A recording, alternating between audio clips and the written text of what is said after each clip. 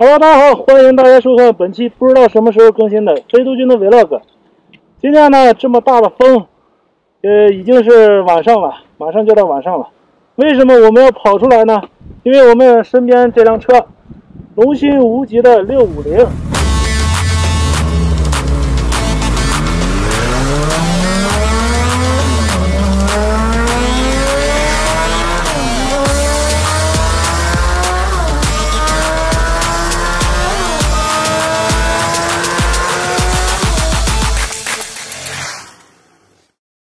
零，呃，这辆车跟我们之前预想的差不多，叫好不叫座。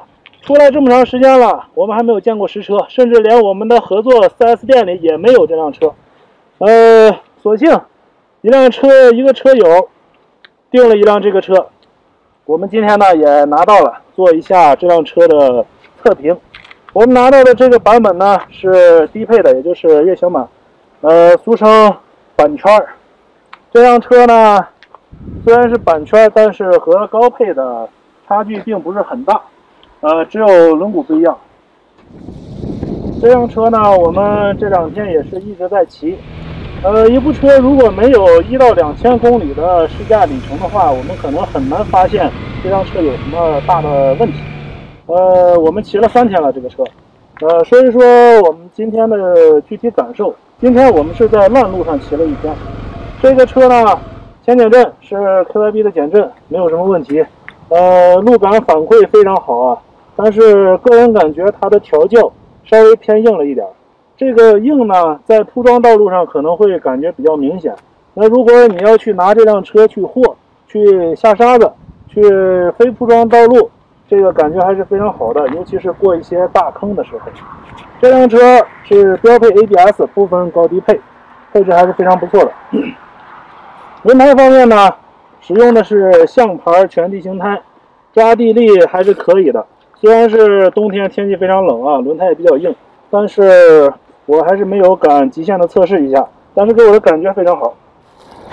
再说一下这辆车的做工，做工呢，相较于之前的龙芯之前的车，也是进步了许多。呃，我们可以看它车架上的一些焊点工艺。确实是已经非常精细了。动力来源呢，还是之前龙芯六五零那颗发动机。呃，技术来源于宝马，这个也是龙芯现在最大的一个卖点。呃，大单缸在低扭的时候，呃，非常强，动力也是非常的充沛。这个发动机在我冲坡的时候给我的感觉非常好啊，但是在呃铺装道路的时候。这个发动机的动力输出并不是那么的稳定，尤其是在回油的时候，稍微会有一些顿挫感。当然了，对于一辆强调低扭的车来讲，这个顿挫感并不算什么，因为大单缸都是这样的。呃，说到同级别的车呢，那么肯定要提一下六九零，也就是 KTM 六九零。呃，虽然说这辆车跟六九零动力是没办法比的啊，呃，车重在那放着，但是已经表现非常不错了。呃，下面我们说一下这辆车的一些小的细节，我感觉还是非常好的啊。呃，前挡风没什么可讲的，三段可调，而且是手动的，这个完全可以做成自动的。对于这个价位来讲，稍微是有一点 low 了。呃，FTF 屏，这个屏还是非常不错的，可以支持手机互联网，呃，也就是我们现在说的这个车联网系统。呃，那么这个屏上呢有一些信息，就是常规的 ABS 呀。呃，机油提示啊，发动机报警呀，还有空挡这些就不说了。呃，界面也是非常的清晰简洁以及明了。中间这个部分是这辆车的前后胎压监测，是实时的胎压监测。一般冬天我们早上的时候胎压可能会低一点，大概在一点九左右，稍微跑一跑就升到了二点零、二点一。这辆车左下角，呃，屏幕的左下角是它的一个综合油耗，现在油耗是四点九。百公里四点九，右面呢是总的行驶里程。这辆车也是非常新啊，刚刚跑了两百六十九公里。另外一个细节呢，就是仪表左侧有一个 USB USB 接口，这个接口对于长途骑行的车友而言是非常有帮助的。还有一点就是它的转向灯，一个流水转向灯也是非常的高大上。呃，具体可以参考我们现在汽车的一些品牌，奥迪呀、宝马呀。离合、刹车都是支持四段可调，对于手小手短的车友们，这也是一大福音。车把按键也是非常简洁明了啊，没有我们现在街车的这么多的复杂的按键。呃，右手边启停按钮，下面就是常亮的日行灯，打到左侧就是危险警报灯了，下面就是启动按钮。右侧转向灯，还有远光，下面是喇叭，没有什么可说的，非常简洁。把一些功能也整合在一起了。另外一个大的一个秘密，可能大家都没有注意到，就是这辆车的侧盖，这里有一个锁眼，锁眼打开是什么呢？是一个点烟器。呃，这个是一个附加的电源支持。呃，对于后期的改装，也有一定的空间，还是比较好的。另外就是要吐槽的一点了，这个车呢没有。三厢是不在标准配置当中的。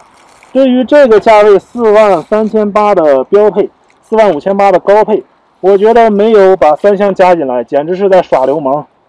呃，另外一个点很有意思，这个龙芯六五零在给工信部提供的数据上面是把三厢的重量算进去的，也就是二百二十四公斤含三厢，而它的售卖版本却没有三厢。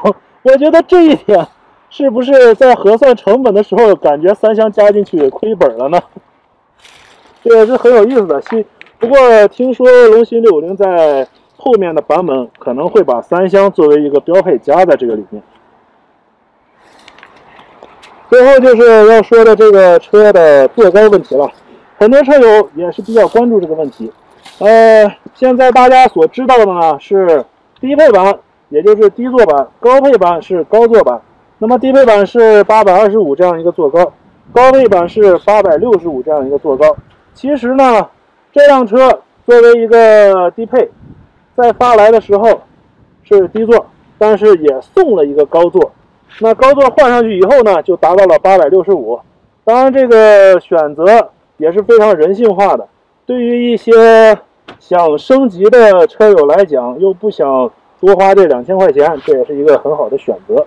另外呢，不光是坐垫的替换可以改变车的坐高，这个后减震，呃，后叉的下面是有一个杠杆连杆的，这个地方也是可调的，这个也是非常人性化的，可以通过这个可调节的杠杆把后减震，呃，行程稍微压一压，让这个车的坐高更低一点。呃，相信这个坐高还是国内大部分车友考虑拉力车的一个。非常重要的一个选择标准，因为，呃，国内的朋友可能脚挨不着地，他感觉心里没底。呃，我拿到这个车的时候呢，也是这个感觉。在刚开始骑的时候，我是用的高坐垫，两只脚没有办法完全点地，两只脚没有办法同时点地，所以心里也是很没有底。呃，当然后面也换了一个这个低的坐垫，感觉。心里踏实了，有底了。不过高坐垫骑了两天，呃，骑习惯了以后呢，呃，坐姿还是非常舒服的。呃，尤其是在公路骑行的时候，你的上身可以挺得非常直，呃，也没有胳膊很累的这种感觉。最后呢，就是说一下这部车适合哪类人群了。如果说你喜欢长途，而且又考虑一些非铺装道路想去豁的话，这辆车非常适合你。大单缸可以提供一个非常充足的低转的扭矩。那么，如果你仅仅是想长途旅行，呃，不想去找一些烂路去豁，又比较在意声音、在意这个车的极速的话，那这辆车可能不太适合你。因为这辆车作为一个大单缸来讲啊，它的发力转速是五千五百转。那么到六千五的时候就已经进入红区了。呃，在我自己试驾的时候，我发现啊，这个转速一旦上到四千以上，它的震动会非常强烈。这个震动不是一般的强，它会从你的脚底一直传到屁股，一直传到你的身上，再传到你的手臂，你感觉整个人像被电了一样。所以这一点也是要吐槽的一点。不过在这样一个震动下呢，这个车也没有发出什么异响。呃，当然这一点还需要更长的一个试驾的里程和时间，才能发现它后续的一些问题。呃，具体的这辆车我们就今天就说这么多。整个车还是非常不错的，所以想考虑的车友们也可以考虑一下。